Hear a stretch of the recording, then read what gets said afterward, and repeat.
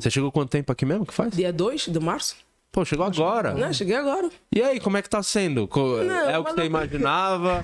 É muito É uma- melhor, muito pior? É uma loucura. E, e uma das Por que, coisas que você assim, veio? Qual foi o, o mo- motivo? Porque eu queria vir ter a experiência de fazer stand-up aqui no Brasil e conhecer os humoristas brasileiros. Assim, é um sonho da vida. Caralho. Da vida. Meu, eu acho que o meu e de todos os humoristas que estão, que estão em Moçambique, se alguns, ah, se alguns estão assistindo nesse exato momento, estão comigo aqui. Caralho, que Né? foda. Que É, legal. É. E, e aí você chegou, chegou já fazendo show, conheceu algum lugar, foi alguma casa de comédia? Conheci, assim, fui pro Comedy Sampa. Ah, conheci o Gui Preto. ah, tinha, tinha um monte de humoristas lá também. Fui pro Hilários. ah, conheci o Nil Agra. Né? Agra. Nil Agra. E vou fazer um show hoje. Vou começar a fazer shows. Começa hoje o primeiro show? No, no Comedy Sampa. Com quem que é o show? É show de... Ah, teste de piadas. É né? os novos humoristas. Novos humoristas. Não, novos humoristas não. É, é, é a noite de teste de piada Hoje mesmo. Teste de piada. Uhum. Isso. Hoje é quarta? É quarta-feira. Quarta. Boa aquela noite. É muito boa. Eu tenho que. Ah, agora que você tá aqui, vai começar a conhecer a galera, vai fazer show Mas você caralho. pretende ficar quanto tempo? Já ficar de vez ou Veio ficando? com família, algum conhecido, Eu pessoal? vim sozinha. E minha mãe falou: Nossa, você vai para o Brasil? Você vai voltar sem órgãos. vai voltar sem órgãos, porque nós, nós temos ah, o que a televisão mostra.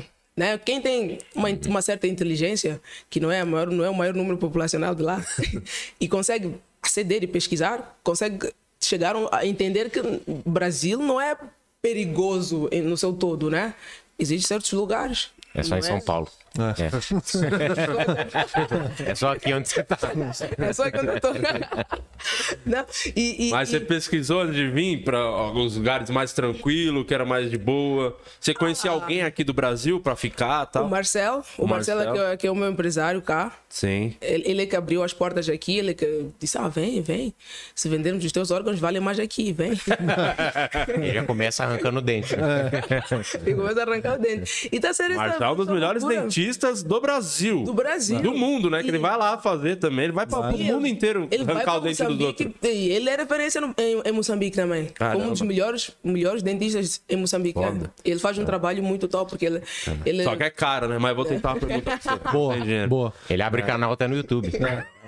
Não, mas em Moçambique é de bola, ele faz de Moçambique, porque é, um trabalho social que ele faz. É muito legal. Ele fez um É, trabalho muito social comigo também, limpou meus dentes, não cobrou nada. Ah, Ele vai fazer comigo também, que ele é um cara do coração bom, né, Marcelo? Ele é, pô. E as expressões aqui. E, então foi um meio que o Marcel foi um grande incentivo pra você vir. Falou, Foi, vem que o Marcel foi, conhece foi. todo mundo da comédia. Não só comediantes, mas produtor, empresário, é, enfim, teatro, ele frequenta um monte de lugar aí. Tudo. O, o Marcelo, assim, E foi. o Cauê um- Marrom também. O Cauê também. O Marcelo foi um deus. Eu, eu não sou hétero, mas eu, eu acho que tem que dar pra ele. Só, pra... Só como uma forma de agradecimento, no mínimo.